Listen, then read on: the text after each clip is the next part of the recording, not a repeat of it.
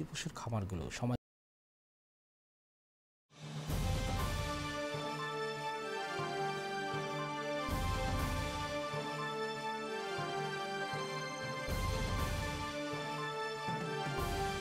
Digital one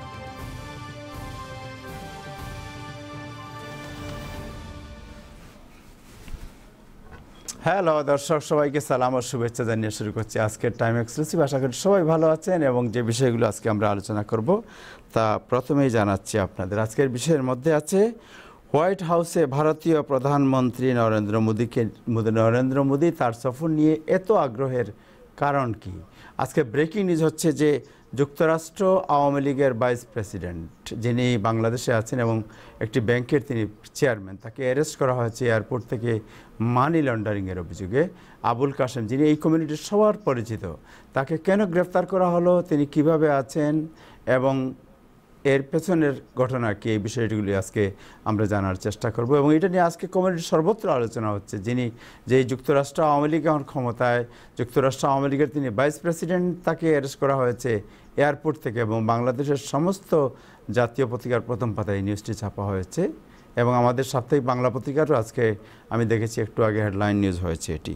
so এই বিষয়টি আজকে আমরা আলোচনা করব। আমরা আলোচনা করব আজকে টাইটান নিয়ে যে ট্র্যাজেডি, এই ট্র্যাজেডি এবং এর লেটেস্ট কি এই বিষয়টি। আর সবচেয়ে বড় একটি ইম্পর্টেন্ট সাবজেক্ট আজকে আলোচনা করব আমরা, তা হচ্ছে যে আমরা এখন সামার এসেছে, আমরা বাইরে যেতে চাচ্ছি, বিশেষ করে যুক্তরাষ্ট্রের বাইরে যেতে চাচ্ছি। আমেরিকান সিটিজেন যারা আমরা, এখন পাসপোর্ট নিয়ে একটা চরম বিড়- বিড়ম্বনার মধ্যে পড়েছে অনেকেই। অনেকে পোস্ট অফিসে যাচ্ছে পাসপোর্ট রিনিউ করার চেষ্টা, নতুন পাসপোর্ট করবে বাট তিন তিন মাস, চার মাস, কোনো মানে এর আগে কোনো পাসপোর্টই পাওয়া যাচ্ছে না, কোনো অ্যাপয়েন্টমেন্টও পাওয়া যাচ্ছে না। এই, এর এই ধরনের অবস্থায় অনেকেই বিদেশ সফর করার যে তাদের পরিকল্পনা, তাদের যে চিন্তা এই চিন্তাকে বাদ দিচ্ছেন অনেকের মধ্যে হতাশাও এবং এক ধরনের খুব বিরাজ করছে।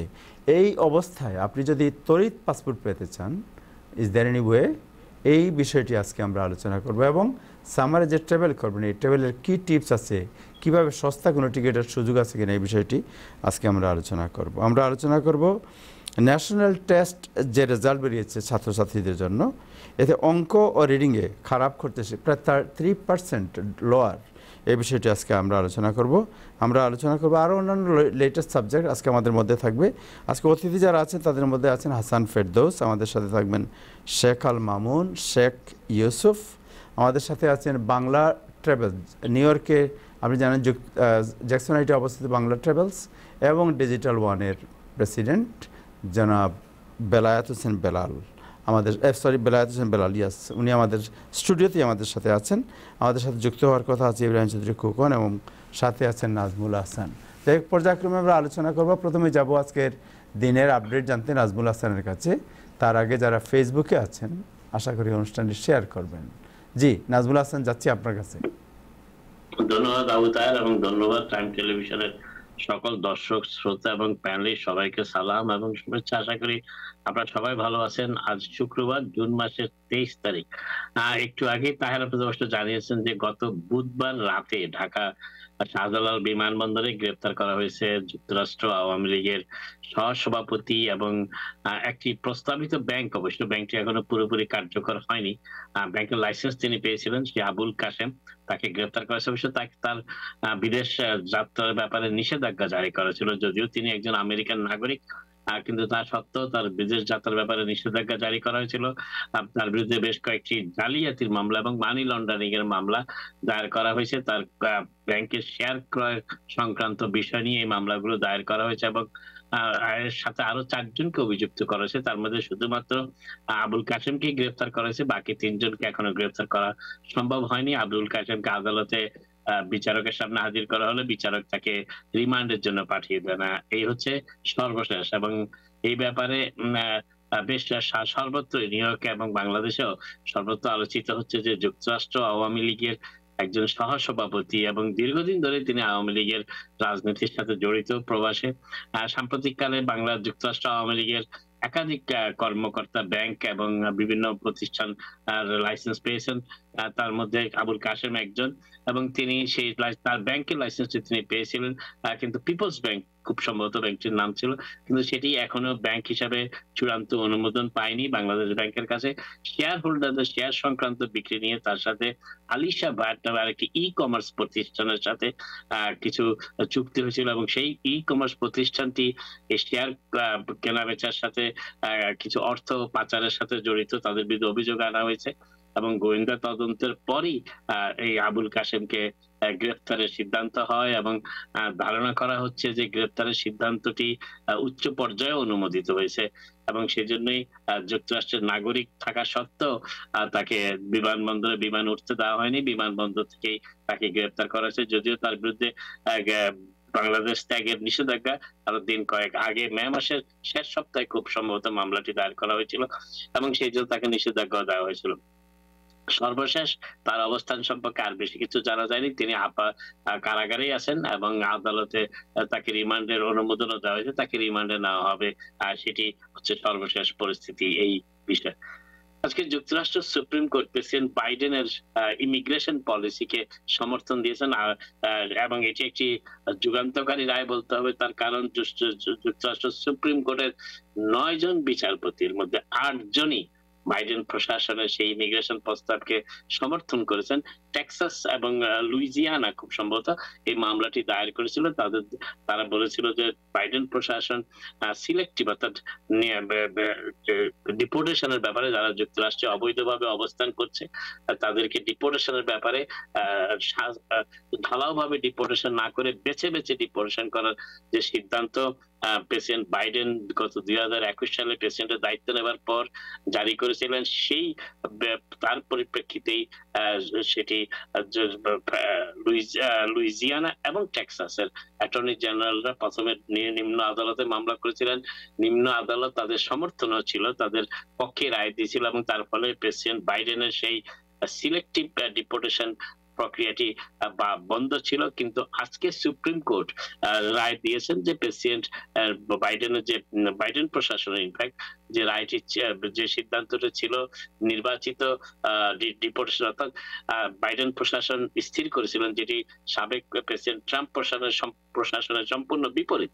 আর সেটি হচ্ছে যে যারা যুক্তরাষ্ট্রের জন্য হুমকি নয়, নিরাপত্তার জন্য হুমকি নয় এবং দীর্ঘদিন ধরে কোনো প্রকার আইনি ঝামেলাহীন অবস্থায় যুক্তরাষ্ট্রে অবস্থান করছেন, তাদেরকে ডিপোর্টেশনের ব্যাপারে সবচেয়ে কম অগ্রাধিকার দেওয়ার যে সিদ্ধান্ত নেওয়া হয়েছিল, আর সেটি এখন সুপ্রিম কোর্ট বলবৎ রাখল এবং এর, এটি দেশের চূড়ান্ত রায় এবং এর সুপ্রিম কোর্টের উপরে আর তো কোনো আদালত নেই, এর ফলে যুক্তরাষ্ট্রে যারা দীর্ঘদিন ধরে বসবাস করছেন কিন্তু কাগজপত্রহীন ভাবে এবং যাদের কোনো আইনি ঝামেলা নেই, অর্থাৎ যারা কোনো প্রকার অপরাধ কর্মকাণ্ডের সাথে জড়িত নয়, তাদের বিরুদ্ধে কোনো অপরাধের কোনো মামলাও নেই, তারা মোটামুটি ডিপোর্টেশনের ব্যাপারে তারা সহানুভূতিশীল বিবেচনা পাবেন, ইমিগ্রেশন এবং কাস্টম এনফোর্সমেন্টের কাছ থেকে। সেটি হচ্ছে এই রায়ের মূল উপজীব্য সেটি। অর্থাৎ ডিপোর্টেশনের ব্যাপারে ইমিগ্রেশন কাস্টমস কর্মকর্তারা এনফোর্সমেন্ট কর্মকর্তা যুক্তরাষ্ট্রে প্রায় এগারো মিলিয়ন কাগজপত্রহীন ভাবে অভিবাসী বসবাস করছে এবং তাদের ডিপোর্টেশন প্রক্রিয়ার জন্য কাজ করছে মাত্র ছয় হাজারের সামান্য বেশি ইমিগ্রেশন কর্মকর্তা। অর্থাৎ এত বিপুল ইমে- দ্রুত ডিপোর্টেশনের কাজটি দুরূহ ব্যাপার। সেই বিবেচনাতেই বাইডেন প্রশাসন দুই হাজার একুশ সালে এই সিদ্ধান্তটি দিয়েছিল যে ডিপোর্টেশনের ক্ষেত্রে যারা যুক্তরাষ্ট্রে সাম্প্রতিককালে এসেছে এবং যারা যুক্তরাষ্ট্রের নিরাপত্তার জন্য হুমকি এবং যাদের বিরুদ্ধে অপরাধজনিত ঘটনার প্রমাণ এবং মামলা রয়েছে, শুধু তাদেরকেই প্রাথমিকভাবে বিবেচনা করা হবে ডিপোর্টেশনের জন্য। এবং এর বিরুদ্ধেই টেক্সাস এবং লুইজিয়ানা আদালতে শরণাপন্ন ছিল তাদের বক্তব্য ছিল, লুইজিয়ানা এবং টেক্সাসের অ্যাটর্নি জেনারেলদের বক্তব্য ছিল যে বাইডেন প্রশাসন নমনীয় মনোভাব গ্রহণ করেছেন অবৈধদের ডিপোর্টেশনের ব্যাপারে। আজকে সুপ্রিম কোর্ট সেই দাবি নাকচ করে দিয়েছে এবং তারা বলেছে যে, বাই, সুপ্রিম কোর্ট হচ্ছে আট এক ভোটে রায় দিয়েছে। টেক্সাস এবং লুইজিয়ানার কোনো অধিকারই নেই সেই সেই বিষয়টি নিয়ে মামলা করার। অতএব এটিও একটি চূড়ান্ত বিজয়। বাইডেন প্রশাসনের জন্য অন্তত ইমিগ্রেশনের বিষয়ে একজন বিচারপতি, রক্ষণশীল বিচারপতি স্যামুয়েল আলিটো এই রায়ের বিরুদ্ধে ভোট দিয়েছেন। বাকি সবাই, বাকি আটজন বিচারকই বাইডেন প্রশাসনের এই সিদ্ধান্তের পক্ষে ভোট দিয়েছেন। এটি একটু বাইডেন প্রশাসনের জন্য একটি যুগান্তকারী রায় এবং এবং যুক্তরাষ্ট্রে দীর্ঘদিন ধরে বসবাসকারী অভিবাসী, তারা এখনও কাগজপত্রহীন ভাবে আছেন এবং যারা কোনো প্রকার অপরাধ কর্মকাণ্ডের সাথে জড়িত নেই তাদের ডিপোরেশনের ব্যাপারটি খুবই সহানুভূতির সাথে বিবেচনা করা হবে এবং তাদের সব শেষে তাদের ডিপোরেশনের প্রক্রিয়াটি কার্যকর করা হবে। সেই অবস্থায় আসতে আরও বেশ কিছুদিন সময় লাগে, লেগে যেতে পারে। আরও একটি রায় অবশ্যই ইমিগ্রেশনের ব্যাপারে সুপ্রিম কোর্ট আজকে দিয়েছে। সেটি হচ্ছে যে যুক্তরাষ্ট্রে অবৈধ অভিবাসনকে যারা কাজে, কর্মে এবং বিভিন্ন উপায়ে সহযোগিতা করেন আর তারা আইনত দণ্ডনীয়। যুক্তরাষ্ট্রের আইনের বিবেচনায় তারা দণ্ডনীয় অপরাধ করছেন। সেইটি, সেই একটি রায়, একটি সিদ্ধান্ত যুক্তরাষ্ট্রের রয়েছে। আইনি সেটিকেও সমর্থন করেছেন অবশ্য সুপ্রিম কোর্ট। সেটি, সেই রায়টি এসেছে সাত দুই ভোটে। এবং সেটি তারা বলেছেন যে যুক্তরাষ্ট্রে, অবশ্য সেটি হয়েছে যে কোনোভাবে যুক্তরাষ্ট্রে আসার ব্যাপারে এবং তাদেরকে মিথ্যা লোভ দেখিয়ে যুক্তরাষ্ট্রে বৈধতা পাওয়ার সুযোগ করে দেওয়ার অজুহাতে যে সমস্ত লোকজনদেরকে যারা নিয়ে আসেন যুক্তরাষ্ট্রে কিংবা যুক্তরাষ্ট্রে থাকাকালীন অবস্থায় সহযোগিতা করেন, তারা আইনের চোখে দণ্ডনীয়। এবং এই জন্যই তাদেরকে সেই বিষয়ে তার একটা, একটি মামলা হয়েছিল ক্যালিফোর্নিয়াতে। একজন আমেরিকান নাগরিক, তিনি বেশ কিছু ব্যক্তিকে যারা অবশ্য বয়স্ক ছিলেন, তাদেরকে ভুল ধারণা দিয়ে বলেছিলেন যে বয়স্কদেরও অ্যাডপ্ট করা যায় এবং সেই অ্যাডপ্টেশনের মাধ্যমে পরবর্তীতে তারা ইমিগ্রেশনের সুযোগ পেতে পারে, যুক্তরাষ্ট্রের নাগরিকত্ব তারা পেতে পারে। কিন্তু সেটি একটি ভুল এবং ভুল এবং সেই বিষয়টি সত্য ছিল না। এবং সেই জন্যই সেই মামলাটি হয়েছিল এবং সেই সেই ব্যক্তি তারা বলেছিলেন যে, যখন নিম্ন আদালতে মামলাটি দায়ের করা হয়, তখন সেই ব্যক্তি বলেছিলেন যে, এটি তার শাসনতান্ত্রিক অধিকার, সাংবিধানিক অধিকার যে কাউকে সহযোগিতা করা। কিন্তু সুপ্রিম কোর্ট আজকে রায় দিয়েছে, যুক্তরাষ্ট্রে অবৈধ অভিবাসন প্রক্রিয়াকে সহযোগিতা করাটা যে কোনো উপায়ে সেটি হোক না কেন, সেটি দণ্ডনীয় অপরাধ এবং সেই জন্যই এবং এই মামলায় আরেকটি বিষয় বিস্তারিত হয়েছে যে যে এই ব্যক্তি, যে অভিযুক্ত ব্যক্তি, সে বিভিন্ন ব্যক্তিকে এই বয়স্ক অ্যাডাপ্টেশনের সুযোগ করে দিবে। এই অজুহাতে বেশ কিছু অর্থ, প্রায় এক দশমিক দুই মিলিয়ন ডলার পর্যন্ত সে তাদের কাছ থেকে গ্রহণ করেছিল এবং এর পরিপ্রেক্ষিতে সেই মামলাটি হয়েছিল এবং সেই সাক্রামেন্টের বাসিন্দা এই ব্যক্তি দুই থেকে দুই সালের মধ্যে এবং তার নাম হচ্ছে হানসেন এবং তিনি বিপুল সংখ্যক শত শত অভিবাসীকে ভুল বুঝিয়ে তাদেরকে তাদের থেকে অর্থ নিয়ে এবং অর্থ নিয়েছিলেন। তা সেই পরিমাণ হচ্ছে গড় পর্তায় তিনি আহ, পাঁচ সাড়ে পাঁচশো ডলার থেকে দশ হাজার ডলার পর্যন্ত তিনি নিয়েছিলেন এবং ফেডারেল সরকার হিসাব অনুযায়ী তিনি এক ওয়ান পয়েন্ট এইট মিলিয়ন এক দশমিক আট মিলিয়ন পর্যন্ত গ্রহণ করেছিলেন। তাদেরকে মিশনে সেই বিষয়টিকে শেষ পর্যন্ত সুপ্রিম কোর্টে আসে এবং সুপ্রিম কোর্ট আজকে তাকে অপরাধী হিসাবে চিহ্নিত করে এবং এই রায় দেয় যে যুক্তরাষ্ট্রে যে বিধানটি রয়েছে যে কোনো প্রকার অবৈধ অভিবাসনকে সহযোগিতা করা দণ্ডনীয় অপরাধ, সেটি বহাল রেখেছে এবং সেতে সেই জন্যই তাকে এই এই রায়টি সুপ্রিম কোর্ট আজকে দিয়েছে। আজকে ক্লাইমেট চেঞ্জের কথা আমরা বরাবরই এখন বলে থাকি।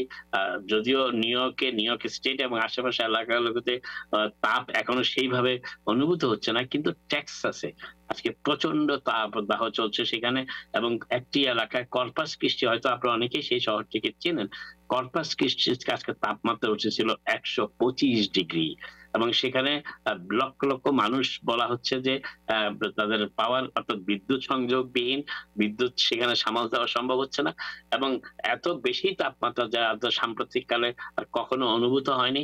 বেশ কয়েকটি শহরের তাপমাত্রা দেওয়া হচ্ছে তাপমাত্রা যদি বলি তাহলে দেখবেন সেখানে এবং এটি ক্লাইমেট চেঞ্জের কারণে হচ্ছে, সে কথাটিও আজকে বলা হয়েছে এবং এই কতটা তীব্র এই তাপদাহ তাপদাহ। সেটি একটি উদাহরণ। আজকে দিই টেক্সাসের বেশ কয়েকটি শহর। ডেলরিও শহরের তাপমাত্রা ছিল একশো পনেরো ডিগ্রি। লারেডো টেক্সাসে তাপমাত্রা ছিল একশো পনেরো ডিগ্রি এবং সান অ্যাঞ্জেলো সেখানে তাপমাত্রা ছিল একশো চোদ্দ ডিগ্রি। আর স্যান অ্যান্টোনিওতে তাপমাত্রা ছিল একশো দশ ডিগ্রির কাছাকাছি। কর্পাস কৃষ্টি কথাতে একটু আগেই বললাম সপ্তাহে ইতিহাসের সবচেয়ে তাপদাহ সবচেয়ে বেশি তাপমাত্রার দিন ছিল আজকে একশো পঁচিশ ডিগ্রি।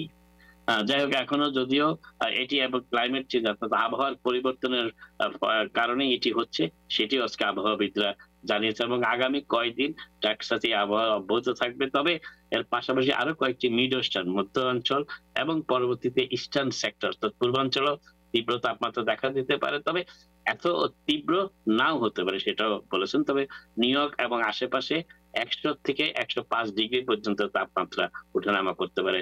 আর চূড়ান্ত সামার টাইমে সেটিও আজকে বলা হয়েছে। নিউ ইয়র্কের ডাক্তার যারা অ্যাবর্শন অন্যান্য স্টেটের টেলি হেলথ সিস্টেম মাধ্যমে টেলি হেলথ প্রক্রিয়ার মাধ্যমে অন্যান্য স্টেটে যারা গর্ভপাত করতে চান, তাদেরকে যদি প্রেসক্রাইব করেন গর্ভপাতের পিল তাহলে তারা যেন কোনো আইনি ঝামেলায় না পড়েন। সেই লক্ষ্যে একটি bill New York State Assembly এবং সিনেটে পাশ হয়েছিল। সেটি আজকে গভর্নর হুকুম স্বাক্ষর করেছেন এবং এর ফলে এটি কার্যকর হচ্ছে। অর্থাৎ নিউ ইয়র্ক স্টেটের কোনো চিকিৎসক যদি নিউ ইয়র্ক স্টেটের বাইরেও গর্ভপাত করতে আগ্রহী কোনো রোগীকে তাদের গর্ভপাত বিরোধী বিলের জন্য প্রেসক্রিপশন দিয়ে থাকেন, তাহলে তিনি কোনো আইনি ঝামেলায় পড়বেন না। তাকে সেই রক্ষা কবচটি এই নতুন আইনের মাধ্যমে দেওয়া হয়েছে এবং সেইটি হচ্ছে যদিও গভর্নর হুকুল আইন স্বাক্ষর সময় বলেছেন যে রোগীদের জীবন বাঁচানোই মূলত এই এই আইনটির কাজ এবং সেজন্যই তারা এই আইনটি তিনি স্বাক্ষর করতে যাচ্ছেন এবং কোন অন্য কোন স্টেটে যারা সেই স্টেটের চিকিৎসকদের কাছ থেকে এই প্রেসক্রিপশনটি পাচ্ছেন না, তারা টেলিহেলথ প্রক্রিয়ার মাধ্যমে তারা যেন এই নিউ ইয়র্কের এই ডাক্তার চিকিৎসকদের কাছ থেকে সেই প্রেসক্রিপশনটি পাবেন এবং তারা গর্ভপাত করতে পারবেন। নিউ ইয়র্কের ডাক্তাররা বিনা বাধায় এবং বিনা আইনি ঝামেলার আতঙ্কবিহীন অবস্থায় এই এই প্রেসক্রিপশন দিতে পারবেন এখন থেকে। নিউ ছাড়াও আরও কয়েকটি স্টেটে এই ধরনের টেলিহেলথের মাধ্যমে টেলিহেলথ শিল্ড লব যেটাকে বলা হয়, অর্থাৎ টেলিহেলথের মাধ্যমে চিকিৎসাকে নিরাপত্তা দেওয়া, আইনি নিরাপত্তা দেওয়ার ব্যবস্থা চালু রয়েছে। নিউ ইয়র্ক সিটির মেয়র এরিক অ্যাডামস আজকে ভ্যাটো দিয়েছেন। এটি তার প্রশাসনের প্রায় দুই বছরের প্রশাসনে দ্বিতীয়বার মতো তিনি ভ্যাটো দিলেন সিটি কাউন্সিলের একটি বিল এবং এই ভ্যাটোটি হচ্ছে যে হাউজিং ভাউচার সংক্রান্ত একটি বিল সিটি কাউন্সিল একটি বিল পাশ করেছে নিউ ইয়র্ক নিউ ইয়র্ক সিটির যে হাউজিং ভাউচার প্রদান করা হবে, এমনকি যারা ইভিকশন হচ্ছে, তারাও যেন হাউজিং ভাউচার পেতে পারে সিটির অর্থে বা হাউজিং পেয়ে সুযোগ সুবিধা পেতে পারে, এই ধরনের একটি বিল পাশ করা হয়েছে সিটি কাউন্সিল এবং মেয়র এরিক অ্যাডামস এটিতে ব্যাটো দিয়েছেন, এই বলে যে এই ধরনের ব্যক্তিদের বাসস্থানের জন্য অর্থ সংস্থান করা সিটির পক্ষে সম্ভব না সিটির বাজেটে সেটি সংকলনও হবে না এবং সেই জন্য তিনি ব্যাটোটি দিয়েছেন। আর্থিক অবস্থার কথা বিবেচনা করে নিউ ইয়র্ক সিটির আর্থিক অবস্থার কথা বিবেচনা করেই তিনি সেই ব্যাটোটি দিয়েছেন। যদিও সিটি কাউন্সিলের কয়েকজন সদস্য বলেছেন যে তারা ব্যাটোটি ওভার রাইড করবেন, অর্থাৎ তারা ব্যাটোটি বাতিল করার উদ্যোগ নেবেন, যাতে সেটি আইনে পরিণত এবং এই আইন, এটি আইনে পরিণত হলে এখন থেকে যারা নিউ ইয়র্ক সিটিতে ইভিক্টেড হবেন, তারাও চাইলে সিটির যে হাউজিং ভাউচারটি রয়েছে সেকশন এইটের জন্য সেটি আবেদন করতে পারেন এবং সেটি পেতেও পারেন। আর সেটা যদিও মেয়রের বিরুদ্ধে, তবে মেয়র দিন কয়েক আগে একটি এক্সিকিউটিভ অর্ডারে স্বাক্ষর করেছিলেন, যে যাতে বলা হয়েছিল যে অর্ডার আদেশে যে সেটির যে যারা নিউ ইয়র্ক সিটিতে শেল্টারে বসবাস করেন, তারা সিটির ভাউচার হাউজিং ভাউচারের সুযোগ পেতে হলে কমপক্ষে নব্বই দিন পর্যন্ত তাদের শেল্টারে অবস্থান করতে হয় মেয়র এক্সিকিউটিভ আদেশের মাধ্যমে গত সপ্তাহে সেটিও বাতিল করেছেন। সাময়িকভাবে, অর্থাৎ এখন থেকে সিটির হাউজিং এ সিটির ভাউচার পেতে হলে আর সিটির শেল্টারে সিটির আশ্রয়ে আর নব্বই দিন অবস্থান করতে হবে না, সেটিও করেছেন। কিন্তু তার পাশাপাশি এই ভ্যাটোটাও এই যে ভাউচিং সবাইকে ভাউচার প্রদান বিষয়টি মেয়র ভ্যাটো দেওয়ায় সিটি কাউন্সিল উদ্বেগ প্রকাশ করেছে এবং তারা ভেটোটি ওভার করতে যাচ্ছে। এবং এই সিটি কাউন্সিলের বিলে যে কি কত আয় হলে হাউজিং ভাউচার পেতে পারে, সে আয়ের পরিসীমাও বাড়ানো হয়েছে। অর্থাৎ অর্থাৎ আগে যে পরিসীমাটি ছিল হাউজিং ভাউচার জন্য, সে থেকে আয়ের পরিসীমা আরও একটু বাড়ানো হয়েছে। আরেকটি বিষয় আজকে যেটি বলার চেষ্টা করি, সেটি হচ্ছে যে নিউ ইয়র্ক সিটির প্রায় পঁয়তাল্লিশ হাজার ছাত্রছাত্রী নিউ ইয়র্ক সিটির ডিপার্টমেন্ট অফ এডুকেশনের অধীনে যারা লেখাপড়া করছেন, তাদের প্রায় পঁয়তাল্লিশ হাজার ছাত্রছাত্রী এবং শিক্ষক ও স্টাফদের ব্যক্তিগত রেকর্ড তাদের স্টুডেন্ট রেকর্ড এবং তাদের অনেক ফাইল হ্যাক্ট হয়েছে। হ্যাক্ট হয়েছে যে তারা যে মোবিট সফটওয়্যারটি ব্যবহার করেন, যেটি ফাইল শেয়ারিং এর সফটওয়্যার মুভিট সেটি গ্লোবাল ডাটা সফটওয়্যার সেটি সারা বিশ্ব জুড়েই ব্যবহৃত অনেক দেশে এবং সেটি হ্যাক হওয়ার কারণে এই এই এই বিচ্যুতি ঘটেছে এবং এতে দেখা যাচ্ছে যে প্রায় পঁয়তাল্লিশ হাজারের মতো নিউ ইয়র্ক সিটি ছাত্রছাত্রী, শিক্ষক স্টাফরা এই এই হামলার শিকার হয়েছেন এবং এর ফলে তাদের পার্সোনাল ইনফরমেশন ব্যক্তিগত ইনফরমেশন যেটি সেটি সেটি তার মধ্যে রয়েছে সোশ্যাল সিকিউরিটি নাম্বার ও এস আই এস নাম্বার তাদের জন্মদিন এবং তাদের অন্যান্য তথ্য। এর পাশাপাশি এমপ্লয়ি যারা ছিলেন, তাদের এমপ্লয়ি আইডেন্টিফিকেশনের বিস্তারিত বিবরণও হ্যাকড হয়েছে এর মাধ্যমে। শেষ করছি আজকে নিউ ইয়র্ক সিটিতে জ্যাকসন হাইটসে আপনারা জানেন যে বাঙালিদের প্রাণকেন্দ্র। সেখানে আজকে একটি হেড ক্রাইমের ঘটনা ঘটেছে বলে অভিযোগ রয়েছে। সেটি আজকে সন্ধ্যায় একজন পাকিস্তানি বংশোদ্ভূত ব্যক্তি, একজন বাঙালি বাংলাদেশির উপরে গায়ে চা নিক্ষেপ করে এবং এর ফলে সেখানে বিপুল সংখ্যক পুলিশ আগমন করে, পরবর্তীতে পুলিশ সেই ব্যক্তিকে, সেই পাকিস্তানি, অভিযুক্ত পাকিস্তানি ব্যক্তিকে গ্রেপ্তার করে নিয়ে যায়। আর সেখানে বিপুল সংখ্যক বাংলাদেশি জড়ো হয় এবং তারা এটিকে হেড ক্রাইম হিসেবে বিবেচনার জন্য পুলিশের কাছে দাবিও জানায়। আপাতত এখানে শেষ করি। আবার আপনাদের সাথে কথা হবে। আপনারা সবাই ভালো থাকুন।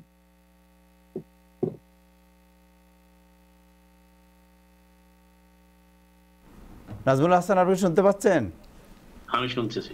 ওকে সো আজকে আমি জ্যাকসনাইটে গিয়েছিলাম। আজকে সর্বত্রই দেখলাম আলোচনা হচ্ছে যেন কাশেম সাহেবের ব্যাপারে এবং যে আলোচনার যে বিষয়, সেটা আওয়ামী লীগের মধ্যে যেমন, তেমনি অন্যান্য মানুষের মধ্যেও। যে যেখানে আওয়ামী লীগের মধ্যে যেটা অনেকেই বলছেন, কারণ আপনি জানেন আর কনফ্লিক্ট অনেকে থাকে। কেউ আনন্দে আনন্দে আছেন, কেউ উচ্ছ্বাস প্রকাশ করছে, কেউ মনে মনে বলছে, বাহ, খুব ভালো হয়েছে আবার এক ধরনের মিশ্র প্রতিক্রিয়াও আছে। আবার কেউ কেউ বলছে যে, যেখানে আওয়ামী লীগ ক্ষমতা সেখানে আওয়ামী লীগেরই একজন ভাইস প্রেসিডেন্ট ভাইস প্রেসিডেন্ট তাকে অ্যারেস্ট করা হয়েছে। হোয়াট ইজ দি নিশ্চয়ই এর ভিতরে এটা তো নতুন কিছু নয়। আওয়ামী লীগ ক্ষমতা থাকাকালীন অতীতে আরও অনেক আওয়ামী লীগ কর্মীকে গ্রেফতার করা হয়েছে। না, কিন্তু এই ধরনের- গ্রেফতার করা হয়েছে। এটা নতুন কিছু নয়। না, কিন্তু এটা- অভিযোগে গ্রেফতার করা হয়েছে জি। তাকে যে অভিযোগে গ্রেফতার করা হয়েছে সেটা মানি লন্ডারিং এবং সেটা অর্থ ওকে সো মানি লন্ডারিংটা উনি কি করেছেন? আপনার জানা আছে এটা? কি কি মানি লন্ডারিং উনি আমি যেটা জেনেছি সেটি হচ্ছে যে উনি যে পিপলস ব্যাংকটি করেছেন সেই ব্যাংকটি। কিন্তু এখনও কার্যকর হয়নি। আর বাংলাদেশ ব্যাংক তাকে চূড়ান্ত লাইসেন্সটি এখনও দেয়নি। ব্যাংকটি এখনও প্রক্রিয়াধীন রয়েছে। এর বছরে তিনি আর একটি আলিশা ভাট খুব সম্ভবত একটি ই কমার্স প্রতিষ্ঠানের কয়েকজনের সাথে তার যোগ সংস্পর্শ ঘটে এবং তারা ই কমার্স প্রতিষ্ঠানের মাধ্যমে বিভিন্ন লোক থেকে অর্থ সঞ্চয় করে মোটরসাইকেল দিবে বলে অনেক কিছু ই কমার্স সাধারণত যা করে থাকে দিয়ে থাকে এবং সেই অর্থগুলো নাকি এই পিপলস ব্যাংকে শেয়ার করার জন্য তাকে দেওয়া হয়েছিল। এই হচ্ছে মূলত অভিযোগ। সো উনি যে মানি লন্ডারিং যে বলল সো এই মানি কি উনি বাইরে পাঠিয়ে দিয়েছেন না বাংলাদেশে আছে? Any any money laundering case বাইরে পাঠানোটাই মানি লন্ডারিং কেস হিসাবে সবসময় বিবেচিত হয় না। মানি মানি লেনদেন যদি ব্যাংকিং সিস্টেমে না হয় সেটাও কিন্তু মানি লন্ডারিং ওকে সো মনে করেন বাড়িতে এনে হয়তো টাকার একটা ব্যাগ বড় ব্যাগ দিয়ে দিল। This is money laundering of course okay banking আপনি যদি আপনি যদি ব্যাংকিং সিস্টেমে আচ্ছা। আপনি ইয়েস আপনি ক্যাশও করতে পারেন আপনাকে রিসিভ থাকতে হবে। আচ্ছা আচ্ছা আপনি আপনি ব্যাংকিং সিস্টেম এবং নর্মাল মানে আর্থিক লেনদেনের সিস্টেমের বাইরে গিয়ে যে টাকা লেনদেন হবে সেটাই মানি লন্ডারিং হয়। সো সো এরপরে যখন গ্রেফতার হলেন তিনি গ্রেফতার হওয়ার পরে নর্মালি এই ধরনের লোকজনকে গ্রেফতার আমার ধারণা আমি আমি একটা কথা বলি হ্যাঁ। গ্রেফতারের বিষয়টি সরকারের শীর্ষ পর্যায় থেকে অনুমোদন প্রাপ্ত তার কারণটা হচ্ছে আমি যেটা বলতে চাই উনি কিন্তু একজন আমেরিকান নাগরিক। জি। এবং আরও একটা ব্যাপার এখানে গুরুত্বপূর্ণ সেটি হচ্ছে যে উনি যুক্তরাষ্ট্র আওয়ামী লীগের ভাইস প্রেসিডেন্ট। ওনাকে যখন ওনাকে যখন এই বিষয়ে প্রশ্ন করা হয় উনি নিশ্চয়ই ওনার পরিচয়টা দিয়েছিলেন তাদের কাছে। ওনাকে তো আচমকা গ্রেফতার করা হয়নি। উনি উনি নিশ্চয়ই আদালত বিষয়টি জানতেন। অতএব তারা যখন এই বিষয়টি নিয়ে দেখে যে উনি যুক্তরাষ্ট্র আওয়ামী লীগের একজন ভাইস প্রেসিডেন্ট দলের একজন সাধারণ কর্মী আর একজন ভাইস প্রেসিডেন্ট কিন্তু অনেক পার্থক্য আছে। অর্থাৎ একজন ভাইস প্রেসিডেন্ট খুবই সেন্সিটিভ একটা পোস্ট নিউজ পেপারে আসবে আওয়ামী লীগের ভাবমূর্তি কি হবে না হবে এই সমস্ত বিবেচনা করে আমার ধারণা যে এটা দলের সরকারের শীর্ষ পর্যায়ে অনুমোদন প্রাপ্ত ওকে অনুমোদন প্রাপ্ত শীর্ষ পর্যায়ে বাট একটা জিনিস কি জানেন যে উনার বিরুদ্ধে যেহেতু ট্রেভেল ব্যান বা ট্রেভেল নিষেধাজ্ঞা জারি করা হয়েছে তারপরে উনি কেন চলে আসতে চাচ্ছেন বড় প্রশ্ন। উনি উনি পালাতে চেয়েছিলেন। এখন হ্যাঁ। বলা হচ্ছে তাকে যেহেতু তাকে নিষেধ করা হয়েছিল তাকে তিনি যেন না যান আহ, তদন্ত চলছে। তিনি যখন পালাতে তিনি যখন চলে আসতে চেয়েছেন যেহেতু তার যুক্তরাষ্ট্রে আসতে কোনো ভিসা লাগে না কোনো কিছু হ্যাঁ। লাগে না তাতে তিনি আহ, তিনি চলে আসতে চাইছিলেন। কিন্তু ডেফিনেটলি আমার ধারণা এয়ারপোর্ট সজাগ ছিল এবং তিনি যে ট্রাভেল করতে পারেন এই ধারণা হয়েছিল বলেই তাকে ট্রাভেল নিষেধাজ্ঞা দেওয়া হয়েছিল। রাইট সো এখন যে যে আরেকটা বিষয় যেটা হলো যে এই ধরনের যারা একটি ব্যাংকের তিনি লাইসেন্স পেয়েছেন that means it's a high profile person right একটি ব্যাংকের লাইসেন্স পাওয়া তো is not a matter of joke আপনি তো পাবেন না, আমি পাবো না right so he is he got the license of a bank এবং তাকে পরে রিমান্ডের আবেদন করে রিমান্ডে নেওয়া হয়েছে। That means there is some mystery there ওনার ব্যাংকটা তো এখনও বাংলাদেশ ব্যাংক চূড়ান্ত অনুমোদন দেয়নি। উনি ব্যাংক লাইসেন্স পাওয়ার পর যে প্রক্রিয়াটি থাকে ব্যাংকটি চালু করার জন্য আমি গত কয়েক বছর ধরে শুনছি উনি সেই প্রক্রিয়াধীন রয়েছেন। অতএব এটি এটা ঠিক এখনও বলা মুশকিল যে ওনার রিমান্ডে কি ধরনের প্রশ্ন করা হবে এটা তো আর আমরা জানতে না। তবে আমার যেটা আমার যেটা ধারণা আমার যেটা মনে হচ্ছে যে এর ফলে রিমান্ডে গেলে আরও অনেক তথ্য বেরিয়ে আসতে পারে। তার কারণটা হচ্ছে উনি এত বছর কয়েক বছর আগে লাইসেন্স পেয়েছেন ব্যাংকটি কেন করা হলো না করা হলো না? এবং আরেকটি জানেন যে বাংলাদেশের ব্যাংকিং সেক্টর এখন অত্যন্ত নাজুক অবস্থায় আছে। নতুন ব্যাংক এবং ব্যাংকিং সেক্টরে বিভিন্ন দুর্নীতি অনিয়ম এই সমস্ত ব্যাপারগুলো সরকারের জন্য বড় একটা মাথা ব্যথার কারণ। অতএব এই এই এই বিষয়টাও কিন্তু এখন আলোচিত হবে। আরেকটি ব্যাপার হচ্ছে যে আওয়ামী লীগ সরকার বলতে পারবে যে আমাদের দলের শীর্ষস্থানীয় নেতারাও যদি মানি লন্ডারিং অভিযোগে অভিযুক্ত হন আমরা তাদেরকে ছাড় দেই না। এটিও একটা বলার সুযোগ হলো আহ, যে- Right. যে কাউকে ছাড় দেওয়া হচ্ছে না। হুম হুম। আমি আজকে গিয়েছিলাম যুক্তরাষ্ট্র আমেরিকার সভাপতি সিদ্দিকুর রহমানের সাথে কথা বলেছিলাম এবং তিনি একই ভাষায় বলেছেন যে যেই অন্যায় করবে তার কোনো নিস্তার নাই। এর প্রমাণ হচ্ছে এই ঘটনা এবং উনি আওয়ামী লীগ করুক বা অন্য যে কোনো করুক কিছু করুক তাতে কিছু যায় আসে না। যদি অন্যায় করে থাকে তার প্রতিকার হবে। বাট আমরা কেউ বার্ড মানে গিলটি না হওয়া পর্যন্ত আমরা তাকে দোষী বলতে পারব না। আমরা আশা করি তিনি অভিযোগ দোষী কাউকে বলা হচ্ছে না। উনি অভিযুক্ত এবং ওনাকে গ্রেফতার করা হয়েছে এটাই হচ্ছে সংবাদ। এইটাই news right right thank you Nazmul Hasan আপনাকে থ্যাংক ইউ সো মাচ সময় দেওয়ার জন্য। আমি জানি আপনি ব্যস্ত। আজকে আপনার অনেক পত্রিকার কাজ বের আজ বের পত্রিকা বের করবেন সো আপনাকে অশেষ ধন্যবাদ সময় দেওয়ার জন্য আপনাকে। Thank you so much thank you আপনাকে। দর্শক আমাদের সাথে আমাদের স্টুডিওতে আজকে আছেন জনাব বেলাল আমার সাথে আছেন আজকে উনি। বাংলা ট্রাভেলস এবং ডিজিটাল ওয়ানের আপনার প্রেসিডেন্ট। সো বেলায়েত হোসেন বেলাল আমাদের সাথে আছেন। আমরা আজকে তার সাথে খুব গুরুত্বপূর্ণ কিছু বিষয় নিয়ে কথা বলব। এর মধ্যে যে বিষয়টি আছে আছে তা হচ্ছে যে আমরা এই সামার এসেছে এবং আমরা সামারে একটা হচ্ছে ট্রাভেল। যে ট্রাভেলের মধ্যে যে টিকিটের দাম, এই টিকিটের দাম সাংঘাতিকভাবে বেড়েছে আপনার। অনেকে মানে চিন্তাই বাদ দিয়ে দিয়েছেন ট্রাভেল করবেন বাইরে। কিন্তু এর বাইরে আরেকটি সমস্যা আছে যেটি হচ্ছে যারা যুক্তরাষ্ট্রের নাগরিক তাদের পাসপোর্ট নিয়ে বড় ধরনের সমস্যা এবং এই পাসপোর্ট এবং টিকিট এই দুটার ব্যাপারেই তার কাছে অনেক সমাধান আছে। আমরা এই দুটো বিষয় নিয়ে তার সাথে কথা বলব। জনাব বেলায়েত হোসেন বেলাল আপনাকে শুভেচ্ছা জানাচ্ছি আমাদের স্টুডিওতে। ধন্যবাদ আমন্ত্রণ জানানোর জন্য তাহের ভাই। ধন্যবাদ আপনার টেলিভিশন সকল দর্শকদেরকে। Thank you thank you so much আপনি আমাদের কমিউনিটির অত্যন্ত প্রিয় একটি মুখ এবং আপনার যে বাংলা ট্রাভেলস এবং ডিজিটাল ওয়ান অত্যন্ত পপুলার সারাক্ষণই মানুষের ভিড় দেখা যায় সেখানে লাইন দেখা যায় সেখানে যেটা বিজনেসের জন্য আসলে ঈর্ষণীয় ব্যাপার এটা।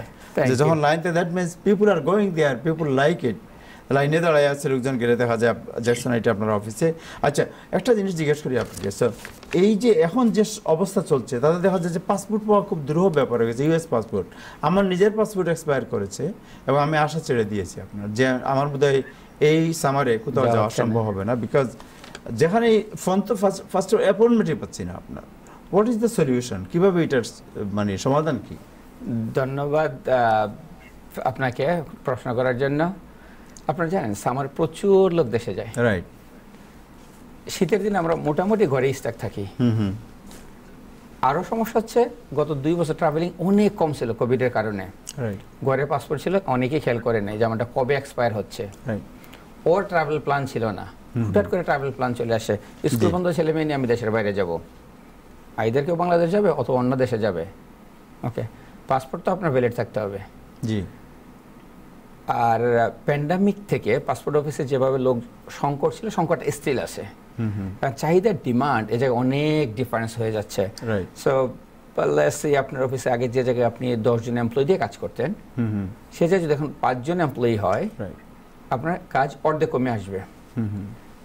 অফিসে কাজের ডিমান্ড যদি আপনার ডাবল আসে ওয়ান ফোর আপনার ডিমান্ড বেশি হয়ে গেল। চার গুণ আপনার চাপ হয়ে গেল বিকজ অফ লোকবল সংকট দুই হচ্ছে আপনার চাহিদা বেশি। অবশ্যই অবশ্যই। ওরা তো নতুন হায়ার এখনও করে নাই প্যান্ডামিকের পরে বিশেষ করে। আর এই সেক্টর একটু ওদের দরকার একটু অভিজ্ঞ লোক। প্যান্ডামিক অনেকেই রিটায়ার করা অনেকেরই চাকরি শেষ করে ফেলছে হয়তো রিটায়ার অলমোস্ট টাইম অথবা রিটায়ার করবে চাইলে করতে পারতো অনেকে চাকরি বাদ করল প্যান্ডামিকের সময় থেকে। অনেক অফিসে যদি আপনি পাসপোর্ট অফিসে যান অ্যাকচুয়ালি লাস্টে যদি ম্যানাডানে এক থেকে চব্বিশটা কাউন্টার আছে টোয়েন্টি ফোর কাউন্টারের মধ্যে আপনি দেখবেন পনেরো থেকে ষোলোটা কাউন্টার অ্যাক্টিভ বন্ধ। আটটা নয়টা কাউন্টার কেউ নাই। হ্যাঁ।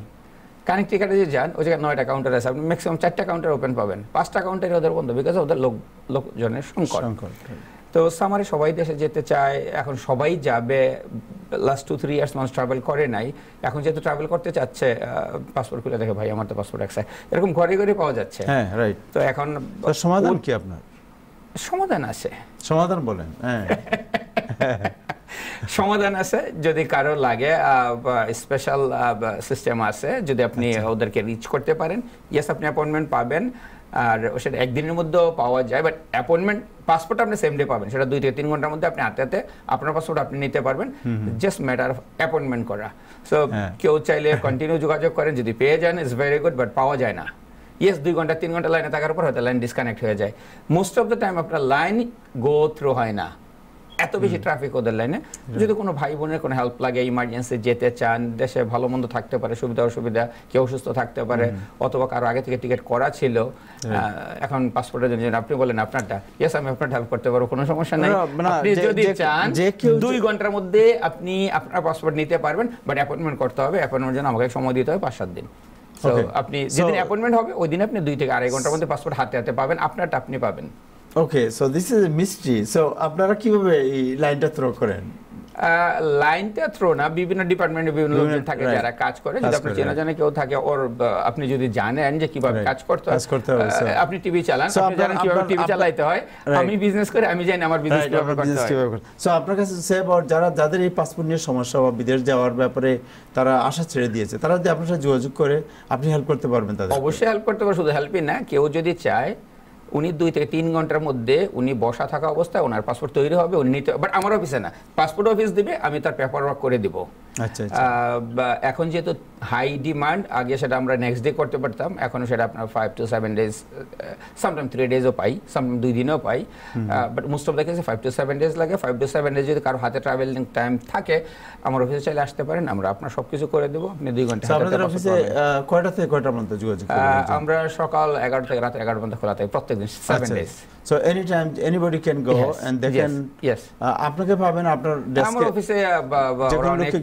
আছে সবাই যে কোনো একজন কাছে গেলে আচ্ছা এই জন্য কি আপনারা কোনো ফিটি কিছু নেন যেহেতু কাজ করি আমি যেহেতু সার্ভিস হ্যাঁ। দেই আমার সার্ভিস সার্ভিস সার্ভিস চার্জ. থাকবে আচ্ছা সো যারা তিন চার মাস আগে পাসপোর্ট জমা দিয়ে দিয়েছেন কিন্তু এখনও কোনো পাসপোর্টের খবর নাই রাইট তাদের ব্যাপারে মানে কোন পরামর্শ আপনার আছে কিনা? সেম তো ওনাদের হেল্প করা যাবে। ওনারা যোগাযোগ করতে পারে বাট স্টিল আসবে। উনি অনলাইনে আচ্ছা। যখন চেক করে ওনার process process process in process yes উনিও পারবে আমার কাছে আসতে। ওনার পেমেন্ট দেওয়া আছে।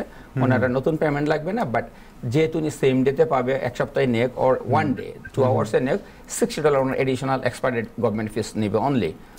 উনি দুই ঘণ্টা পাসপোর্ট নিয়ে আসতে পারবে। নতুন পেমেন্ট আর দিতে হবে না। এক্সাম্পল আপনি ওয়ান থার্টি ওয়াট এভার আপনি নিয়ে আসতে পারবেন আমরা আপনাকে যে জায়গায় অ্যাপয়েন্টমেন্ট করে দেবো যেটাতে আপনার ইমিডিয়েট অ্যাপয়েন্টমেন্ট পাওয়া যাবে আপনি ওই জায়গায় যাবেন পেপার নিয়ে যাবেন আপনাকে দুই তিন ঘণ্টা ইমিডিয়েট অ্যাপয়েন্টমেন্ট তো যেমন ধরেন নিউ ইয়র্ক আছে নিউ জার্সি আছে নিউ জার্সি ওদের ফেস নাই কানেটিকাট আছে কানেটিকাট বস্টন আছে, আছে পেনসিলভেনিয়া আছে, আছে দোজ আমাদের কাছাকাছি। আছে। এগুলি কাছাকাছি আমাদের। রাইট হ্যাঁ। রাইট আচ্ছা আরেকটা জিনিস আপনাকে জানতে চাই যে বাচ্চাদের পাসপোর্ট আপনি জানেন বাচ্চাদের পাসপোর্ট হয়ে গেছে আরেকটা দুরূহ ব্যাপার। যেমন কি আবেদন করছেন জমা দেওয়ার পর কোনো কোনো ক্ষেত্রে পাঁচ ছয় মাসেও কোনো খবর নাই হ্যাঁ? এই এই এই দেরি হওয়ার কারণ কি বাচ্চাদের এটার মধ্যে অনেকটা রিজন যেটা সমস্যা আমি যাদের সাথে আলাপ আলোচনা করি যেটা বলে অনেকের হ্যান্ড রাইটিং ক্লিয়ার না। আপনি যখন পাসপোর্ট ফর্মে সোশ্যাল সিকিউরিটি নাম্বার লিখলেন ওরা সামো সময় সোশ্যাল নাম্বারটা পড়তে পারে me. জি। একটা সমস্যা। অনেকে কি করে বাই মিস্টেকলি তার পুরান পিকচার যেটা ছিল লাইক চার বছর আগের ইমেজ ওদের কাছে আপনার প্রথম ইমেজটা আছে। প্রথম যখন আপনার বাচ্চার পাসপোর্ট হ্যাঁ, বানাইছেন ওই ইমেজটা ওদের কাছে আছে। কিন্তু- আপনি কি করছেন? বাই মিস্টেকলি হোক ওর আপনার ঘরে ছবি আছে আপনি কি করলেন? একটা পুরাতন ছবি দিয়ে দিলেন। ওরা জানে যে চার বছর পাঁচ বছর পরে বাচ্চার এই ইমেজ থাকার কথা না। হ্যাঁ। ওরা চাচ্ছে লেখা থাকে সাম্প্রতিক পিকচার হুইচ ইজ লাইক অতি রিসেন্টলি পিকচার আমরা অনেকেই হয়তো আইদার টাইম সেভ করার জন্য অথবা মানি সেভ করার জন্য হয়তো আমরা রিসেন্টলি পিকচার দিন আমার ঘরে একটা পুরাতন পিকচার ছিল ওর অনেক সময় ইমেজ ভালো না। সো রিডেবল না। সো এটার জন্য ওরা ওইগুলি রিজেক্ট করে। অনেক সময় যেটা হয় আমরা অনেকে কি করি অরিজিনাল ডকুমেন্ট না দিয়ে ফটোকপি দিই। ওরা ফটোকপি অ্যাকসেপ্টেড না। আপনি যখন অ্যাপ্লাই করবেন আপনার ওরা আপনার বার্থ সার্টিফিকেট পাঠাবে। লেটস সি আপনি ফার্স্ট সিটিজেন হয়েছেন আপনার সিটিজেনশিপের থাকবে। আপনার অরিজিনালটা দিতে হবে ওরা আপনার পাসপোর্ট অ্যান্ড ওটা দুটো কিন্তু সেপারেট টাইমে আসবে একসাথে আসবে না। সেম ডে হইতে পারে অর ডিফারেন্ট ডে হইতে পারে বাট আসবে। অনেক সময় হয়তো অনেকে কি করে ফটোকপি দিয়ে দিছে। উনি জানেই না অরিজিনালটা দিতে হবে। হ্যান্ডরাইটিং এর সমস্যা থাকে। অ্যাড্রেসের সমস্যা থাকে।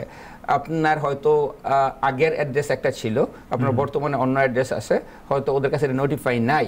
ওটা ওদের জন্য কনফিউজ অনেক সময় আপনার বাড়িতে চিঠি পাঠায় যে এই জিনিসটা আমাদের কাছে ক্লিয়ার না। কারও কারও এমনও থাকে আমাদের মা বোনদের হয়তো হেজাব করা আছে। আগে ওনার হেজাব করা ছিল না। সো পিকচার কেন চেঞ্জ হয়েছে? মানে ওটা কি? তুমি রিলিজিয়াস ওয়ে করতে চাও বা কি রিজনে তোমার চেঞ্জ ওটার ওরা নোটিফিকেশন জন্য আপনাকে চিঠি দেয়। ওগুলি একটু পিছনে পড়ে যায়। বাট আচ্ছা। কেউ চাইলে নোটিফিকেশনের জন্য বেস্ট যোগাযোগ করা এবং রেসপন্ড কুইক করা। ওকে আরেকটা বিষয় যেটা আপনি বললেন। তাইলে যে সে আবার পুরুষ সে আবার আমার পাসপোর্ট আমি দশ বছরের পাসপোর্টের মেয়াদ থাকে আমাদের রাইট সো দশ বছর আগে আমি যে ছবি দিয়েছিলাম এবার রিনিউ করার সময় সেম ছবি দিয়ে আমি দিই is it okay or no এই তো সমস্যা এই জায়গায় অনেকে সেটা করে। আচ্ছা আচ্ছা। ওরা আপনাকে ওরা জানে দশ বছর পরে আপনার সেম ইমেজ আর বর্তমান ইমেজ সেম থাকবে না চেহারা পিকচার ফেশিয়াল এটা ডিফারেন্ট হবে। দ্যাট টাইম ওরা রিজেক্ট করে। রিজেক্ট করে দেয় রিজেক্ট করে। ওটাই আসতেছে না ওটাই ইন প্রোগ্রেস আর যেহেতু ওদের প্রচুর চাপ পাসপোর্টে প্রচুর চাপ। যেহেতু প্রচুর চাপ আছে এখন লেটসি আমি ডেইলি হয়তো পঞ্চাশটা পাসপোর্ট করতে পারো। এক্সাম্পল একজন একজন এমপ্লয়ি রাইট তো এখন ওনার কাছে দশটা চলে আসে যেগুলিতে কোনো না কোনো সমস্যা আছে। আইদার ওরা রিড করতে পারেন হ্যান্ড রাইটিং ইমেজের সমস্যা আপনার লেখার সমস্যা কোথাও কোনো মিস্টেক আছে। রাইট অনেক সময় হয়তো লেটসি এক্সাম্পল আপনি বাংলাদেশে এবিসি কোনো একটা ডিস্ট্রিক্টের আপনার বার্থ প্লেস ছিল সামহাও তো আপনি হয়তো জায়গা মুভ করছেন। দশ বছর আগে আমি বার্থ প্লেস কি দিয়েছি আমি জানি না বাট পাসপোর্ট অফিসের সিস্টেম ওনার বার্থ প্লেস আছে। লেসে উনি কোনো এক ডিভিশনে দশ বছর বা বিশ বছর আগে থাকতেন। এখন উনি বাই মিস্টেকলি আর মনে নাই উনি কোন ডিভিশন ইউজ করছিলেন। এখন উনি তো অন্য ডিভিশন দিয়ে দিয়েছে উনি যে জায়গায় মুভ করছে বাংলাদেশের ডিভিশন। ওদের সিস্টেম আছে দে আর ওরা আপনাকে আর কল করতেছে না। হয়তো আপনাকে চিঠি পাঠাবে বাট যেহেতু হাতে প্রচুর একটার পর একটা কাজ আসতেছে ফলো আপের ফলো আপের দিকে ওদের আর সময় হচ্ছে না যে আপনার ফলো আপ করে আপনার কাজটা ওরা করে দিবে। হ্যাঁ। আগে যেটা স্লো অত ক্রেজি ছিল না বিজি ছিল না বিকজ অফ প্যান্ডামিক এই যে ট্রাফিক ওই ট্রাফিক আর কমতেছে না সামার আসতেছে.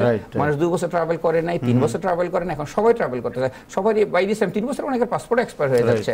সো ওইগুলির জন্যই অনেকটা বেশি ডিলে হচ্ছে বাট কেউ যদি ওয়াক ইন যেতে চায় এনিথিং সমস্যা আছে ফ্রাইডেতে আপনাকে দেবে টু আওয়ার্স যদি সমস্যা যোগাযোগ করলে চাইলে যোগাযোগ করতে পারেন যদি কেউ চায়। বলে দিতে পারবেন যে হাউ আমরা জাস্ট ওনার জন্য অ্যাপয়েন্টমেন্ট করে দেবো কোথায় কি সমস্যা আছে কি কি পেপার রক লাগে ওটা আমরা করে দেবো। ওকে আরেকটা জিনিস জেনে নেই আরেকটা সংক্ষেপে জানব যে অনেকের বাবা মা আছে যার ইউএস পাসপোর্ট থাকে তাদের বাচ্চাদের যে গ্রিন কার্ড থাকে এবং যদি আঠারো বছরের নিচে হয় তাহলে ওরা কি ইউএস সিটিজেনশিপও পেতে পারে?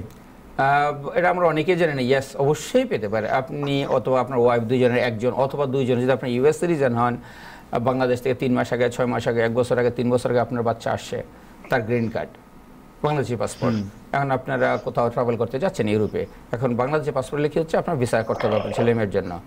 এখন আপনি যদি চান যদি আমার ইউএস পাসপোর্ট হয় আমার ছেলে মেয়ে উইদাউট ভিসা অনারেবল ভিসা ওয়ার্ল্ডের অনেক দেশেই পাওয়া যায় অনেক দেশেই পাওয়া যায় সব দেশে না অনেক দেশেই পাওয়া যায়।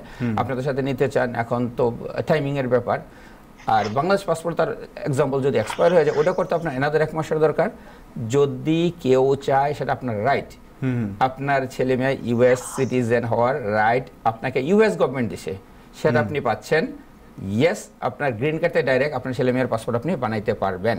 এটার জন্য আপনার এডিশনাল কোনো কাগজপত্র ডকুমেন্ট লাগবে না। আপনি. দুই ঘন্টায় সেম আপনার পাসপোর্ট জমা দুই ঘন্টায় রেডি করতে পারবেন আপনার ছেলে মেয়ে গ্রিন কার্ড থেকে উইদাউট পরীক্ষা আঠারো বছরের নিচে যদি হয় যদি আঠারো বছর নিচে থাকতে হবে ছেলে মেয়ে থাকতে হবে আঠারো বছর নিচে মানে চাইল্ড থাকলে ওরা child থাকলে। আহ, ওই অধিকারটা পাচ্ছে মানে সেই হিসেবে পরীক্ষা পাবে। আর দিতে হবে না, হ্যাঁ। সেটা যদি আপনি চান তাকে ইন ফিউচারে তারা করাবেন অবশ্যই করাতে পারবেন. ওটা ওটা আপনি করাতে পারবেন. আচ্ছা তো অনেকের প্রশ্ন থাকে যে পাসপোর্টের মেয়াদ ছয় মাস থাকতে হবে সেটা কি ভ্রমণ শুরু থেকে ছয় মাস না ফিরে আসা পর্যন্ত ছয় মাস। এটা অলওয়েজ কনফিউজ ছিল। প্যান্ডামিকের পর কনফিউজড অনেক বেশি। আগে যদি আপনি ইউএস পাসপোর্ট থাকতো লেটস সে আপনার তিন মাস চার মাস ভ্যালিড আছে ছয় মাস ভ্যালিড আছে ইয়েস আপনাকে খুব একটা যন্ত্রণা করতো না এয়ারপোর্ট আই মিন আপনাকে বোর্ডিং পাস দিত। All airlines is very restricted আপনি যেদিন ফিরে আসবেন ওই দিন থেকে আপনার সিক্স মান্থ ভ্যালিড থাকতে হবে। এক্সাম্পল আপনি যাচ্ছেন জুন মাসে ওকে দেশ থেকে আপনি ফিরবেন সেপ্টেম্বরের তিরিশ তারিখে। রাইট জুন থেকে ডিসেম্বর যদি হয় আপনার কিন্তু সিক্স মান্থ ওকে আপনি ট্রাভেলিং থেকে না এয়ারপোর্ট এয়ারলাইন্স আপনার টিকিট যেদিন ফিরে আসবেন ওটা থেকে সিক্স মান্থ থাকতে হবে। সিক্স মান্থ কম হলে এখন কোনো এয়ারলাইন্স আর অ্যাকসেপ্ট করবেন আপনাকে। আপনার টিকিট ইস্যু করবে না। না বোর্ডিং পাস দেবে না। বোর্ডিং বাস দেবে না। সবই আপনার ঠিক ছিল সব ঠিক আছে। ভ্যালিডিটি ফিরে আসার সময় আগে যেটা আগে ছিল যাওয়ার সময় সিক্স মান্থ থাকলে ইজ ওকে আসার সময় দেখতো না।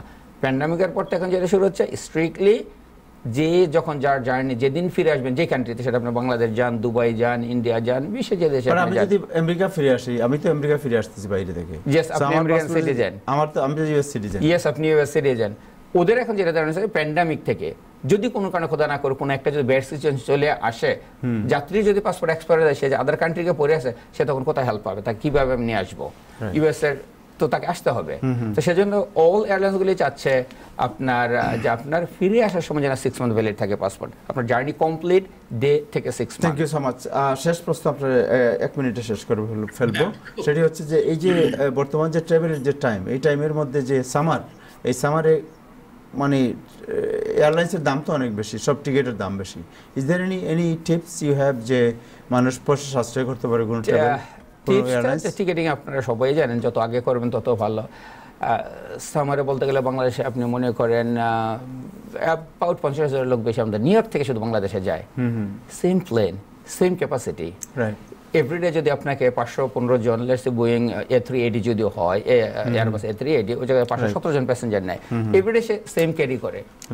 আজকে যদি আমার প্যাসেঞ্জার পাঁচশো হয় কালকে যদি প্যাসেঞ্জার আমার দুই হাজার হয় আমি কোথায় যাব? এই প্যাসেঞ্জার তো আমাকে ক্যারি করতে হবে। সো অলওয়েজ যেটা হয় আপনার ডিমান্ড যদি ফুলফিল না করতে পারে অটোমেটিকলি প্রাইস আপ হয়। আর এই বছর যেটা হচ্ছে সব কিছুর দাম ফুয়েলের কস্ট বেশি ফুডিং কস্ট বেশি কস্ট বেশি সব কিছুই এবছর বেশি। সেজন্য টিকিটের দামটা একটু বেশি। সামারে. সবসময় থাকে। আরও একটা যে থাকে সব দর্শকদের প্রতি অনুরোধ থাকবে আমার আপনারা যখন ঘর থেকে বেরোবেন অবশ্যই আপনার গ্রিন কার্ড যদি থাকে গ্রিন কার্ড নিয়ে বের হন। আপনার পাসপোর্ট এক্সপায়ার অবশ্যই আপনি দেখবেন ফিরে আসার সময় সিক্স মান্থ আছে কিনা। অল এয়ারলাইন্স রিকোয়েস্ট স্টিল আছে আপনার ভ্যাকসিন কার্ড থাকতে হবে অনেকে আমরা চিন্তা করি প্যান্ডামিক নাই. হয়তো আমার ভ্যাকসিন আর ইম্পর্টেন্ট না।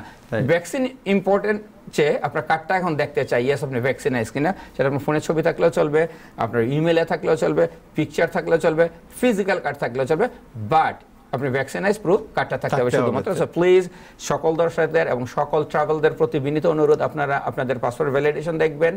ভ্যাকসিন কার্ডের সাথে রাখবেন। ধন্যবাদ সকলকে। Thank you so much thank you জনাব বেলায়েত হোসেন বেলাল আপনাকে জনাব বেলায়েত হোসেন বেলাল যিনি বাংলা ট্রাভেলস এবং ডিজিটাল ওয়ানের প্রধান জ্যাকসন আইটি তাদের অফিস আপনাকে অশেষ ধন্যবাদ। আপনি একটু আমাদের সাথে থাকুন আমি একটু শেখার মামুনের সাথে কথা বলি আপনি শুনুন। শেখার মামুন আপনাকে ধন্যবাদ জানাচ্ছি। আমাদের সাথে ইতিমধ্যে যুক্ত হয়েছেন জনাব ইব্রাহিম চৌধুরী খোকন শেখ আল মামুন আপনাকে কংগ্রেচুলেশন আপনার একজন স্টুডেন্ট যার নাম হচ্ছে Sheikh Yusuf.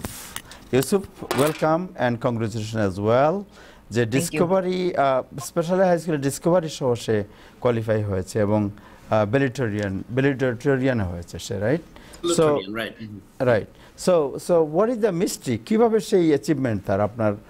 ডেফিনেটলি আপনাকে কংগ্রেচুলেট করি because he is your student G. Well, first of all, I congratulate Yusuf for his uh, achievement. Yusuf, মানে বাংলাদেশে যেমন আমাদের স্কুলে আগে যেমন ফার্স্ট বয় হতো সেকেন্ড বয় হতো স্পেশাল অ্যাওয়ার্ড দেওয়া হতো. এই দেশে বলা হয় ভ্যালেডিক্টোরিয়ান এবং salutatorian valedictorian number one salutatorian number two so আমাদের প্রচুর বাংলাদেশের ছেলেমেয়েরা আপনার স্কুলে মিডল স্কুল থেকে যখন গ্রাজুয়েশন করছে তারা ফার্স্ট সেকেন্ড হচ্ছে। Because it prove their hard working their achievement আমেরিকার মতন জায়গা তারা সমস্ত ইউনো সাদা কালো সবাইকে টপ গিয়ে গিয়ে সে সেখানকার স্কুলে এক নম্বর হচ্ছে বা দুই নম্বর হচ্ছে। Is very very good thing আর যে ডিসকভারি প্রোগ্রামটা হচ্ছে স্পেশালাইজড হাই স্কুলের কিছু যারা লো ইনকাম বা ইনকামের একটা ইয়ে আছে ব্রংসে বা জ্যাকসনাইটে বা কুইন্সে কিছু কিছু বাচ্চারা যদি খুব অল্প পয়েন্টের জন্য মিস করে প্রথম রাউন্ডের স্পেশালিস্ট হাই স্কুলে তখন কিন্তু সেকেন্ড রাউন্ডে তারা এটাতে চান্স পায় ডিসকভারি সামারে তাদেরকে ছয় সপ্তাহ ক্লাস করতে এবং তারপরে সেখানে তারা চান্স পেয়ে যায়। So it is one of the city স্কুলগুলো স্পেশালি স্পেশালিস্ট হাই স্কুল তারা ডাইভার্সিটি ইনক্রিজ করার জন্য এই প্রোগ্রামটা আছে এবং এখানে প্রচুর বাঙালি ছেলেমেয়েরা চান্স পেয়েছে। অনেক সময় বাঙালিরা বাবা মারা যখন প্রথম রাউন্ডে চান্স না পায় তারা তখন খুব ডিজার্টেড হয় এবং তারা চিঠিটা অনেক সময় খেয়াল করে দেখে না যে তাকে ডিসকভারি প্রোগ্রামে তাকে চান্স পাইছে। সো তাদের উচিত হবে যে স্পেশালি সায়েন্স রেজাল্ট যখন মার্চে আসবে তখন অবশ্যই যেন চিঠিটা খুব খেয়াল করে পড়ে যে তার বাচ্চা কি ডিসকভারিতে চান্স পাইছে কিনা বা খুব অল্প মার্কের জন্য যদি সেদিন মিস করে থাকে তখন অবশ্যই খুব এটা যেন কেয়ারফুলি দেখেন। So much thank you Shekhal Mamun. Shekhal Mamun আপনাকে অশেষ ধন্যবাদ। যাই হোক আমরা আপনার ছাত্র যে শিক্ষার্থী ওর কাছ থেকে একটু তার প্রতিক্রিয়া জানি আহ, ওর নাম হচ্ছে Sheikh Yusuf Sheikh Yusuf Uh, So- Assalamu alaikum. Walaikum assalam. What so what is your plan? Uh, congratulations and thank you so much for your achievement. Um, uh, you are definitely proud of our community. So what is your future plan? Where you are going and what you want to be? Uh, inshallah, be an um, engineer. Can you guys like make dua for me? আমি হইতে চাই। আমাদের জন্য একটু দোয়া করেন। ওকে তোমার জন্য অবশ্যই দোয়া করা হবে। তুমি কি হতে চাও? engineer like কি ইঞ্জিনিয়ার হতে চাও? কি ইঞ্জিনিয়ার like building বানাই um bridge বানাই ওরা ডিজাইন করে। বিল্ডিং বানাবে ডিজাইন করবে রাইট সো তুমি তো স্পেশাল হাই স্কুলে চান্স কোন স্কুলে তুমি যাচ্ছ? Um Bronx science inshallah ব্রঙ্ক সায়েন্সে তুমি যাচ্ছ। তুমি কোথায়? সরি তোমার বাসা কোন জায়গায়? ব্রঙ্কসে জি আচ্ছা আচ্ছা। তো তুমি কি শেখাল মামুনের সাথে হি ইজ উনি কি ওনার তোমার শিক্ষক শেখাল মামুন? Uh, উনি আমার টিচার হয়েছিল কোচিং এ জি আচ্ছা আচ্ছা আচ্ছা। সো তোমার যে এই তুমি তোমাকে যে তুমি ডেইলি কয় ঘণ্টা পড়ো এমনি? Like maybe two three hours sometimes so যারা ভালো ছাত্র হতে চায় বা তোমার মতো এরকম ভ্যালিটোরিয়ান বা এই যে স্পেশালাইজ হাই স্কুলে স্টুডেন্ট মানে হিসাবে চান্স পেতে চায়। তাদের তারা যদি তোমার মতো হতে চায় তাদের কি করা উচিত? লাইক প্রতিদিন একটু স্টাডি করুক um লাইক ফোকাস করুক স্কুলে কোচিং এ শুধু এটাই ওকে সো প্রতিদিন পড়াশোনা করা উচিত ম্যাথ করা উচিত হাউ অ্যাবাউট তোমার খেল- খেলার যে ওই যে তোমার বিভিন্ন ধরনের video game in other stuff right আমাদের কমিউনিটির most of the student they spend lot of time with this তাদের উদ্দেশ্যে তুমি কি বলবে? What is your suggestion to them I mean খেলা তো ভালো আছে স্ট্রেস রিলিভ করে কিন্তু বেশি খেলতে হবে না like it to maybe one hour two hour কিন্তু বেশি না। বেশি না? কতক্ষণ খেলবে? কতক্ষণ? Like maybe one hour two hours one hour two hours a day right জি। তো যারা যারা কেউ যদি বেশি করে তাহলে তাদের বাবা মার কি করা উচিত?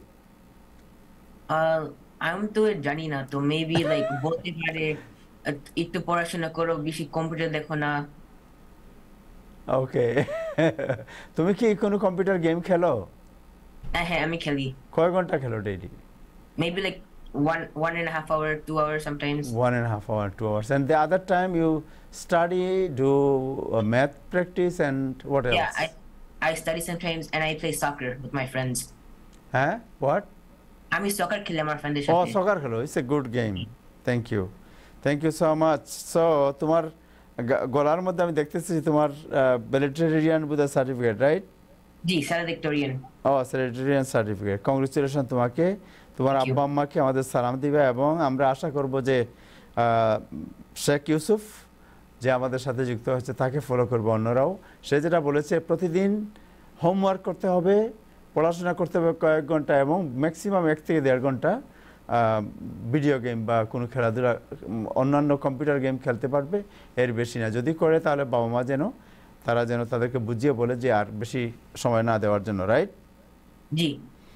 Okay thank you so much তোমাকে অশেষ ধন্যবাদ আমাদের সাথে যুক্ত হওয়ার জন্য। Thank you thank you for having me আসসালামু থ্যাংক ইউ দর্শক আমাদের সাথে যুক্ত আছেন ইব্রাহিম চৌধুরী খোকন। ইব্রাহিম চৌধুরী খোকন আপনাকে জানতে চাই হোয়াট হ্যাপেন মোদির যে ওয়াশিংটন সফর এনি নিউজ অনেক ধন্যবাদ আবু তাহের। আমি আহ, শুরুতেই যে ইউসুফ শেখ আমাদের নতুন মানে এখানকার নতুন প্রজন্ম আমি তাকে অভিনন্দন জানাতে চাই। সুন্দর করে বলেছে। এবং শুনেন এই যে ভিডিও গেম তারপরে এই- এই যে স্মার্টফোনে থাকা এসব নিয়ে আমরা অনেকেই কথা বলি। এখনকার হ্যাঁ। ছেলে ছেলেমেয়েরা কি এরা কি মার্বেল দিয়ে খেলবে আপনার মতো? এরা তো তার স্ট্রেস রিলিজ করার জন্য বিরুদ্ধ নিয়ে খেলার জন্য। আপনি আমি কি ওই যে মার্বেল গুল্লা চুট এগুলো জাম্বুরা দিয়ে খেলতাম? তারা তাদের স্ট্রেস রিলিজ তাদের কাছে এই জিনিসটা আছে খেলবে হ্যাঁ নিয়ন্ত্রিত খেলবে এবং সে সুন্দর সে নিজেই বলেছে যে আমি ঘণ্টা আহ, খেলি। তো সব সবকিছুর মধ্যে একটা ব্যালেন্স করা। আমি অনেক প্যারেন্টকে দেখছি যে এটাকে নিয়ন্ত্রণ করতে গিয়ে বাচ্চাদের উপর একটা চাপ সৃষ্টি করা। এইটার এইটারও খুব যে সুফল আছে আমি এটা মনে করি না। তো আমি তাকে অভিনন্দন জানাতে চাই এবং তার এই সত্য কথন তার এই আহ, সুন্দর কথা আমাদের উপকৃত করবে। আপনার প্রশ্নটা আসছি যে ভারতীয় প্রধানমন্ত্রী মোদির হ্যাঁ মোদি মোদির সফরটা এমনি যদি দেখেন সে খুব বর্ণাঢ্য সফর। ভারত মানে পশ্চিমা বিশ্বের এখন সবচেয়ে বড় গণতান্ত্রিক দেশ সব বিশ্বের সবচেয়ে জনবহুল দেশের আহ, প্রধানমন্ত্রী। এবং তাকে নিয়ে আমরা দেখলাম যে আমরা আমরা দেখলাম যে বুধবারে জাতিসংঘ সদর দপ্তরের দক্ষিণ লনে আহ, যে রিসিপশন দেওয়া হলো সেখানে এরিক অ্যাডাম ছিলেন এবং আহ, সেখানে ইয়োগার মাধ্যমে সেই ইয়োগা দিবসে তিনি থাকলেন। হোয়াইট হাউসেও সেখানে হোয়াইট হাউসের সামনে কয়েক হাজার মানুষ ভারতীয় লোকজন। এবং তার ভিতরে কি আলোচনা হয়েছে যে আমরা প্রকাশ্য যে আলোচনাটা, এটা তো শুনলাম, ভারতের সাথে বিভিন্ন চুক্তি হয়েছে, ভারত ভারত, আমেরিকার স্বার্থ দেখার জন্য বিভিন্ন ট্যাক্স ফ্রি বিভিন্ন বিষয় লেনদেনের ব্যাপার যেটা মোদি ভারত সরকারের জন্য ভালো মনে করেছেন। সেই ধরনের লেনদেন করেই ভারতের সাথে তার সম্পর্ক উন্নয়ন করার চেষ্টা করেছেন। এখানে ভালোবাসার কোনো সম্পর্ক নাই, এখানে স্বার্থের সম্পর্ক। এখন আপনার প্রশ্নের ইঙ্গিতের মধ্যে দেখাচ্ছে মোদি কি বাংলাদেশের জন্য কিছু করেছেন? মানে আমাদের একটা প্রত্যাশা, মোদি আসা বাংলাদেশের পক্ষে ওকালতি করবে। এটা নিয়ে বাংলাদেশের আমরা দেখেছি মন্ত্রী পর্যায়ে পর্যন্ত প্রশ্ন করা হয়েছে। তো আমরা তো এটা জানি না, নেপথ্যে কোনো যদি আলাপ হয়ে থাকে, প্রকাশ্য ধরনের কোনো আলাপের খবর আমরা জানি না। এবং ভারতীয় প্রধানমন্ত্রী নরেন্দ্র মোদী তার দেশের স্বার্থকে পাশে রেখে বাংলাদেশকে বাংলাদেশের কে ক্ষমতায় থাকবে, এইটা নিয়ে ওকালতি করবেন। এটা আমরা সাধারণ চিন্তায় আমরা হয়তো মনেও করতে পারি না। যুক্তরাষ্ট্র এই ধরনের আলোচনা প্রকাশ্যে আলোচনা করতেছে, বাংলাদেশের বিভিন্ন রাজনৈতিক ব্যাপারে তাদের বক্তব্য ইতিমধ্যে স্পষ্ট হয়ে উঠেছে। তো এই সমস্ত ঘটনার মধ্য দিয়ে যদি নেপথ্যের কোনো আলোচনা হয়ে থাকে সেই আলোচনাটা আমরা জানি না। আমি মানে এটা নিয়ে এই প্রশ্নের উত্তর এইভাবেই দিতে চাই তাহের। আওয়ামী লীগের ভাইস প্রেসিডেন্ট জনাব কাশেম ওনাকে অ্যারেস্ট করা হয়েছে। সো আমি খুব সংক্ষেপে জানতে চাই আমাদের সময় শেষ হয়ে গেছে যে আপনার কি মনে হয় কি কারণে অ্যারেস্ট করা হলো ওনাকে?